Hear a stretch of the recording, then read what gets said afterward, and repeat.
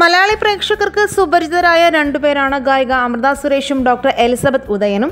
ഇവർ രണ്ടുപേരും തമ്മിലുള്ള ബന്ധം എന്താണെന്ന് മലയാളി പ്രേക്ഷകർക്ക് പ്രത്യേകിച്ച് പറഞ്ഞു തരേണ്ട കാര്യമില്ല. എങ്കിലും നടൻ ബാലയുടെ ആദ്യ ഭാര്യയായിരുന്നു അമൃത സുരേഷ്. അത് കഴിഞ്ഞ് കുറച്ച് നാളുകൾക്ക് മുൻപായിരുന്നു എലിസബത്തുമായുള്ള വിവാഹം ബാല രണ്ടാമത് ചെയ്തത്. എന്നാൽ രണ്ട് ബന്ധങ്ങളും നല്ല രീതിയിലല്ല മുന്നോട്ട് പോയത്. അതിന്റെ പല വിശദീകരണങ്ങളും സോഷ്യൽ മീഡിയയിൽ വന്നുവെങ്കിലും യഥാർത്ഥ കാരണം എന്താണെന്ന് ഇതുവരെയും ഇരുവരും സോഷ്യൽ മീഡിയയിൽ പ്രേക്ഷകരോട് പറഞ്ഞിട്ടുമില്ല.